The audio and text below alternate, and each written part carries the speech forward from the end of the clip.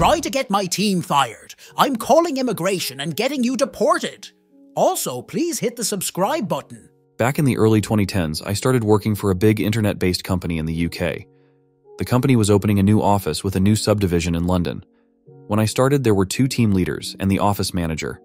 The two teams were the content team and the SEO, search engine optimization team.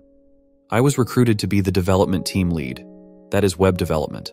When I was interviewed for the job, both the office manager and SEO team lead were carrying out the interview. As you do in interviews, when they asked if this or that could be done, I would respond, yes, of course, or, you know, you would get a better result doing X, Y, or Z. So I got offered the job, and for the first year, there was so much going on. As well as building a team, I also had a portfolio of websites that needed to be redeveloped and redesigned. It was at this point that some red flags started to pop up.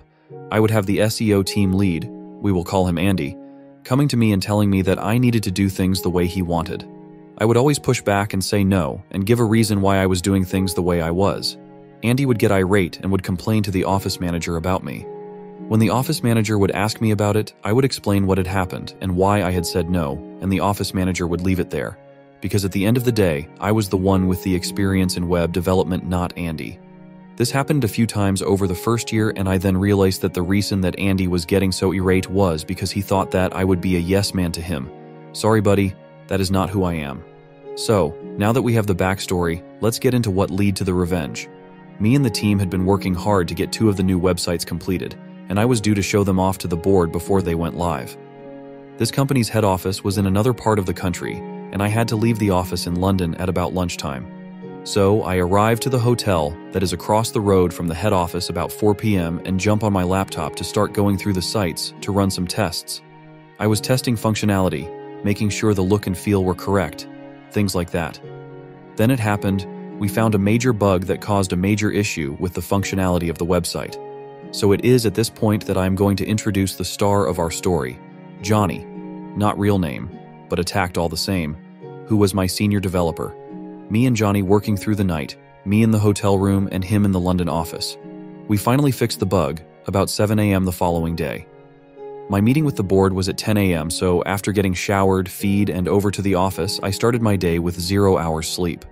I go into the meeting, and the first thing that is said is the CEO asking if I was okay. I had met him a few times, and he was a really nice guy. I explained that we had found an issue with the sites yesterday, and me and Johnny had worked through the night to fix it before the meeting. Long story short, everyone was really impressed and loved the new sites. At the end of the meeting, the CEO pulled me aside and thanked me for everything and then told me to go home and get some sleep. It was about a three hour train ride to London and then another hour home. I thanked him and went on my way. So, after taking my team out for a well deserved lunch to say thank you, the office manager then organized a night out for the whole office to celebrate on the following Friday. We started off at a fancy bar, not my sort of thing. I am a man of cheap tastes. And then everyone moves on to a small club. I go to the club for a bit, but then leave quite early in the night as I need to get a train home. I say my byes and then head home. I come into the office on the Monday and there is something going on. I speak with Emma, not real name, the content team's lead.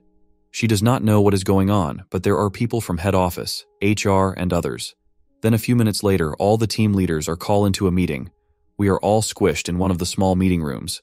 There is office manager, two members of the HR team from head office, and the three team leaders, including myself.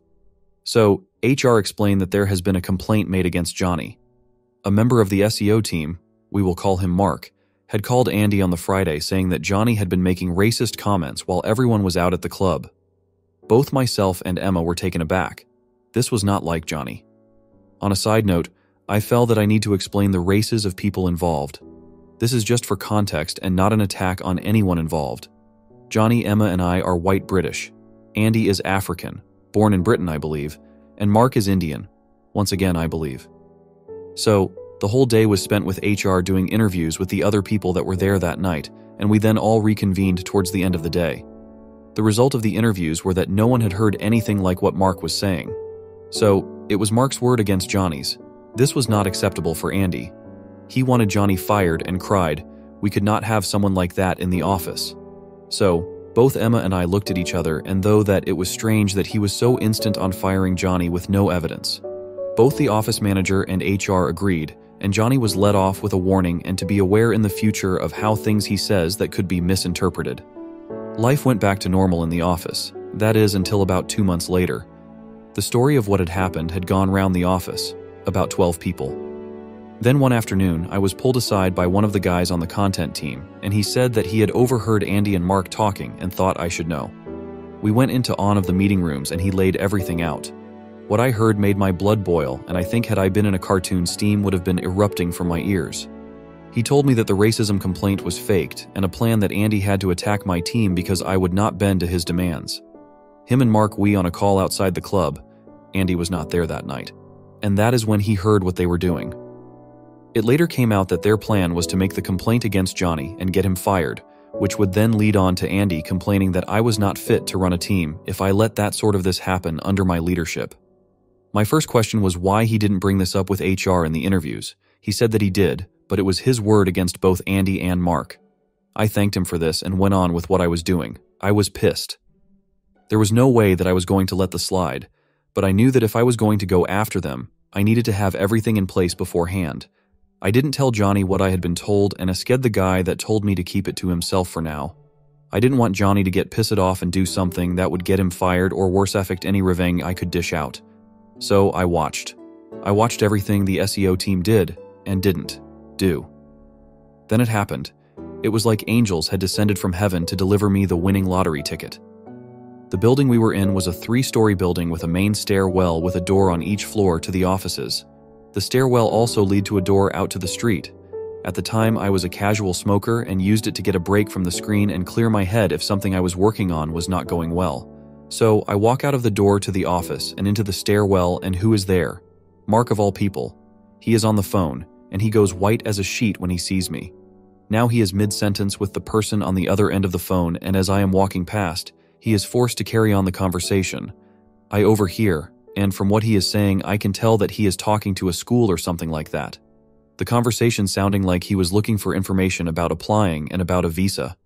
I thought that was a strange call to be having, and something was fishy about it. I had my suspicions as to what was going on, but nothing concrete at this time. A few days later, I was heading back up to the head office, and by that time, we had a new office manager who lived near the head office, so was based there most of the time. When I got there, I dropped my things off at the hotel and headed over to the office. I went to his desk and asked to have a quick chat. I explained to him what I had overheard Mark talking about on the phone and said that maybe the company might like to look at his visa status. So, a week went by and nothing seemed to happen. Then, bam. He stopped showing up to the office. A few days later, I got told what had happened from one of the other SEO team members. Mark had been fired with immediate effect for no longer having the correct visa to work in the UK. The company did not want to get involved in sponsoring a new visa for him. I don't know why. I started asking questions around the office, random chit chat, and I found out that Mark is from Dubai and he was here on his wife's student visa. I don't know how that works, but it was all above board. I also found out that his wife's course had finished, and that left them with a small window of time to get a new visa. That is when it all clicked. Now, there are some dodgy people in London, and everywhere else, and they would set up these fake colleges that would sign people up to get visas to live and work into UK. At some point before or after this saw a program on this, and normally these were set up in tiny offices that you couldn't swing a cat in, let alone be a college. They were used as postal addressed for the college, and they would charge a course fee to be enrolled and thus be able to apply for a student visa.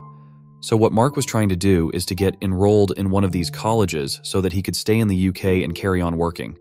I found out a few weeks later that Mark and his wife did have to leave the UK and go back to Dubai because he didn't have any money coming in to pay for his new college course. Bye, Mark. When I found out that Mark had been let go, I pulled Johnny aside and filled him in on everything. He could not believe it and was stunned that they would try and do that. I apologized to him as it was my fault that he had been targeted by them in a way to get at me.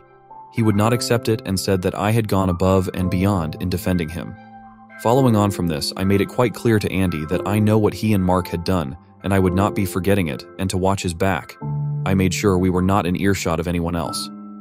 About two months later, Andy handed in his notice and left the company, never to be seen or heard from again. I have told this story to some people over the years, and I have been asked so many times if I feel guilty for what I did. I always respond the same way. I feel guilty that Johnny was wrongfully accused and targeted. I don't feel guilty about what I did to Mark. You don't mess with my friends, family, or team.